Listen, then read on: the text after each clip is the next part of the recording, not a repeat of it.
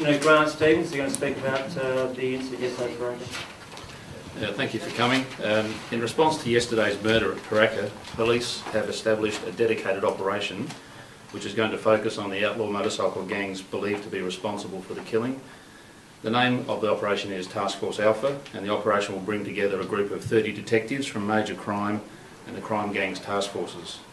Major crime detectives will be responsible for investigating the murder and the events leading up to it, whilst the crime gangs task force members of this task force will co- concentrate on the disruption and prevention of any further outlaw motorcycle gang related violence associated with this particular incident.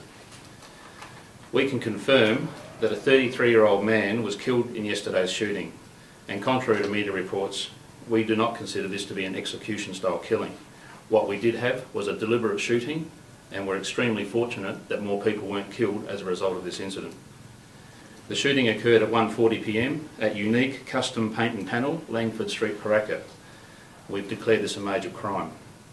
Investigations so far reveal that a group of men walked into the premises armed with guns and fired a number of shots. These men are believed to have fled in two vehicles, a white Nissan hatchback and a white Mazda sedan.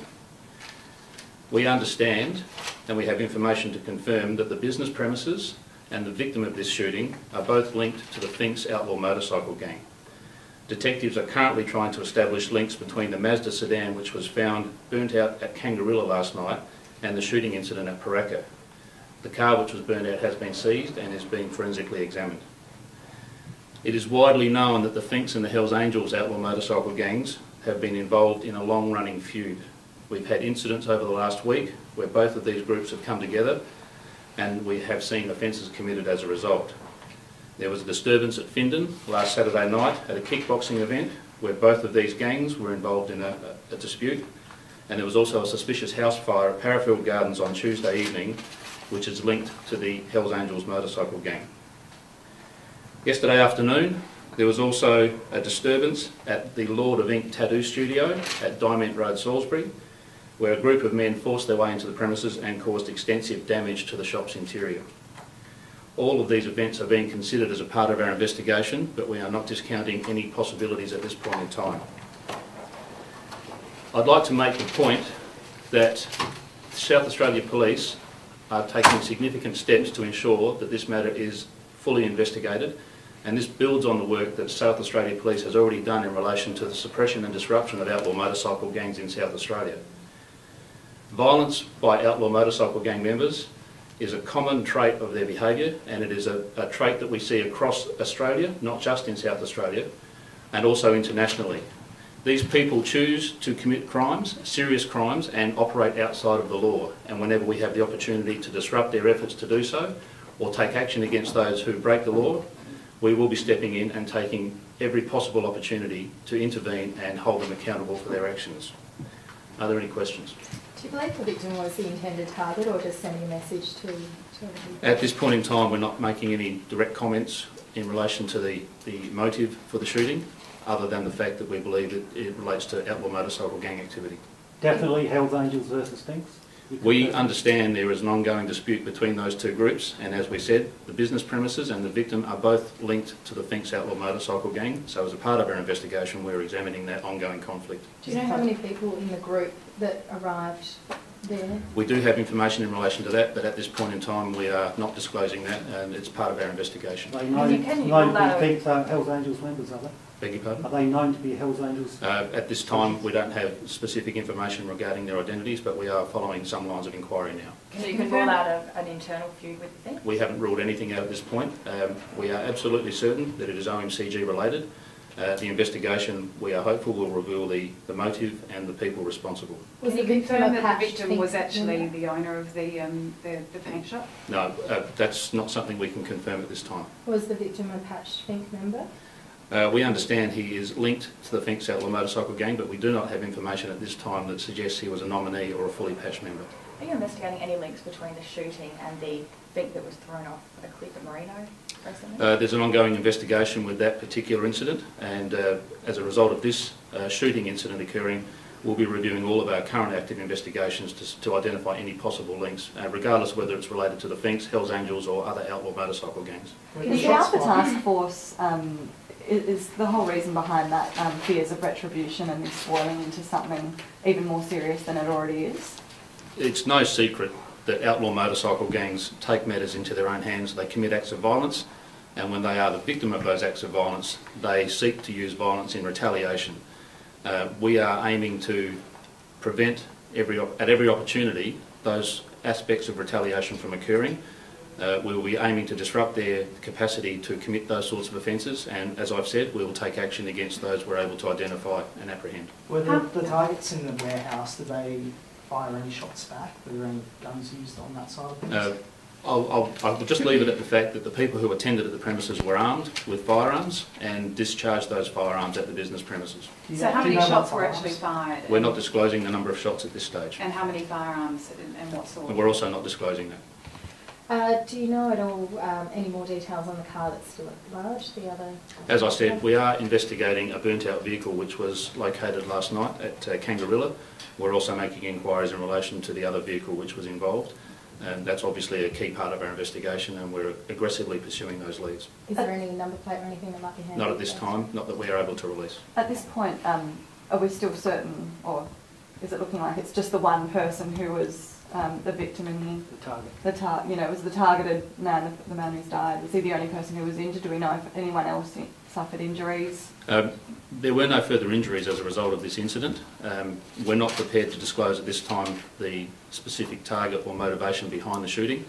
Um, That'll be part of our investigation, and as further information becomes available, we'll be more than happy to provide that. But it's important that we continue with our investigation at this stage. Are the people at the warehouse uh, cooperating with the police? Um, There is some limited cooperation, um, and I I think that's another feature of people who are associated with outlaw motorcycle gangs. Uh, They have a history of impeding our investigations by their lack of cooperation, their lack of um, willingness to provide meaningful support to a police investigation. And it has been the case in the past where they resort to their own devices to settle these scores with the inference that the police don't do anything when these sorts of crimes occur to them, and that's because they don't help us. If uh, we were to get the sort of support we get from every other member of the community in these investigations, there would be uh, a substantially higher level of resolution in terms of people being prosecuted for violent crime committed against bikies. Is this new task force being established because, because crimes gangs can't keep up with workload? No, that's, that's not the case. Task Force Alpha is being established to ensure that we put adequate resources to this intensive investigation. There is a significant amount of work that has to be done, and it's appropriate that we have dedicated investigators working on those investigations. Crime Gangs Task Force will continue to do its normal work, which includes investigating crimes committed by other outlaw motorcycle gang members in South Australia, as well as disrupting their, their activities uh, and ensuring that their behaviours are consistent with the expectations of the community in terms of public safety. Are you aware of any Hells Angels being brought in from interstate? Over this period? We're certainly looking at all aspects in relation to our investigation, but we wouldn't be commenting on that at this point in time. Graham, do you think this was a club sanctioned uh, incident, do you? The Hells Angels club sanctioned incident? Or was these renegades? Oh, Again, well, we're not able to comment on that. Um, We are continuing to work on the motive and uh, identifying people responsible. Um, That will come out in the fullness of time. I'm told by bikies with boots to bikies today that they can't control these young blokes. A lot of these blokes are renegades, they're out of control, they won't uh, follow the traditional authority. Is that your information? Oh, I don't have specific information regarding that, but if we reflect over history, members of bikie gangs have been involved in serious violence offences for as long as any of us in this room can remember. To suggest that new people coming into these groups are now becoming violent is, is a joke. These people have been responsible for violent crime for as long as they've been members of outlaw motorcycle gangs. And we only have to think back to Milperra, which was over 20 years ago. This is nothing new. The new people coming into these groups aren't the ones starting the violent activity. They're, they're picking up a legacy that's been left by people who have been members of outlaw motorcycle gangs for a very long time. How would you describe this feud between the Hills and the Finks? I'd say it's a petty feud that they need to get their act together. If they have legitimate issues in terms of offences being committed, come to the police, let us investigate and take action on their behalf. Otherwise, behave like other members of the community. Abide by the laws of the community. Do you know when this latest flare-up, have you pinpointed what actually sparked it? What was the, the first feud in sort of this, this latest, um, round, I guess? There are a series of incidents uh, involving conflict between the Hells Angels and the Finks, and uh, we're investigating all of those. They do stem back uh, to 2011 uh, in terms of recent history, but as I said before, there are several recent incidents over the last few days that we are looking at that involve members of both the Hells Angels and the Finks, and we're looking at the linkages they may have to the investigation we're now conducting. Did yesterday's arrival of um, quite a few Finks members and associates at the scene, um, did that help police at all? Um, you know, um, a lot of them were giving their IDs to officers there. Um, you know, what's happened with, with that there? It might come as no surprise that we don't need bikies to give us their identification, we know who they are. Um, what would be helpful is if they actually supported our investigation by providing meaningful information. Do you know who you're looking for, Grant? I can't disclose that at this time. It's, uh, there are a range of uh, inquiries that are being currently undertaken and uh, we're hopeful that we'll have uh, further uh, information coming forward as a result of that. Have you raided properties since uh, yesterday? Uh, we can't disclose any of the operational activity that's been going on, but as, uh, as you would expect, with a team of uh, 30 detectives dedicated to this particular investigation, um, there are a lot of people being spoken to and a lot of premises being visited. How would you say our our anti-bikie laws are working at the moment, given this flare up? Do you think they're enough? The anti-bikie laws that we currently have at our disposal are quite effective and uh, it's not always the case that uh, the use of these laws is seen in the public arena. Um, we have um, opportunities for uh, offenders of violent crime to um, be refused bail, um, they need to prove they're, they're worthy of bail as opposed to automatically receiving bail. We have legislation that allows us to protect vulnerable witnesses. We have the opportunity to issue firearms prohibition orders against uh, people who have firearms history. Uh, we are able to issue public safety orders and we issued a public safety order at the uh, kickboxing event which occurred on Saturday as a result of the dispute between the Hells Angels and the Finks. We have the ability to have non-association orders issued against members of criminal organisations and there are a range of other uh, aspects of the anti-bikie laws which we fully utilise at this time.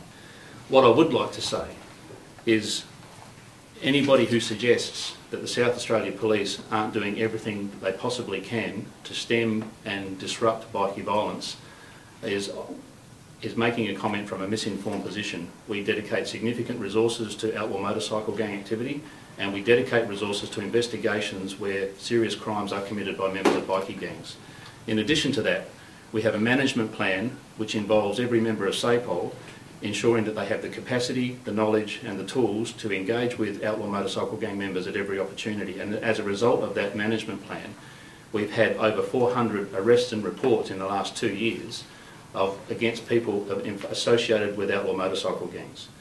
There's intensive effort on the part of South Australia Police to ensure that bikies are kept within the laws of South Australia.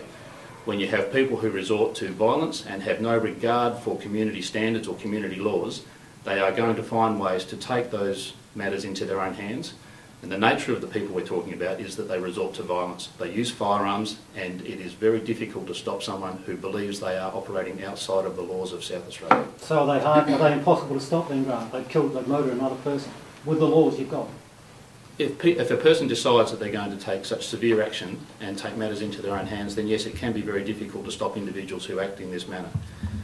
But having said that, we've had arrests in the last 12 months for members of outlaw motorcycle gangs for murder offences, extortion, blackmail, rape, serious assaults, firearms offences, drug offences and a range of other crimes that directly attribute to their connection to outlaw motorcycle gangs. There is a significant amount of success in dealing with outlaw motorcycle gangs, but once again, they are a well-established organised crime group in South Australia, as they are with every other jurisdiction in Australia. And because of that, we continue to put resources towards fighting this outlaw motorcycle gang phenomenon. You sound very angry about all this. Well, the actions of this particular group yesterday not only affect other members of outlaw motorcycle gangs, it affects every member of the community. It raises fear within people who choose to abide by the laws of South Australia. And we all have a right to expect that we can walk safely through industrial areas, shopping precincts, restaurant areas without fear of being involved in some crossfire incident involving people who think they know better and who think they can take the laws into their own hands. We'll do what we can to prevent that and to make sure that South Australia is as safe as it can be. And yes, I am angry about what's happened. Um, with this tattoo parlour in Salisbury, is that linked to the Hells Angels at all? Beg your pardon? The tattoo parlour in Salisbury, where a group of With gentlemen... Uh, we believe it's connected to the Finks outlaw motorcycle gang. Okay, thank you. Just one last one if I can. Uh, the Focarelli murder, has there been any update on that or was that associated with this investigation? That investigation is ongoing. Um, might I say that uh, anyone who challenges the efforts of the South Australia Police only has to look at the, the presence of the Comanchero outlaw motorcycle gang in South Australia. They're virtually decimated because of the work of the Crime Gangs Task Force. Um, it's, a, it's a significant result that their, their, their foothold in South Australia has been dislodged. Uh, we have no significant presence of that group here at this point in time. In fact, their, their main presence seems to be in uh, correctional institutions as a result of the work of the South Australia Police. But is you. Fox associated with this investigation? Okay. No. Thank you. Thank you.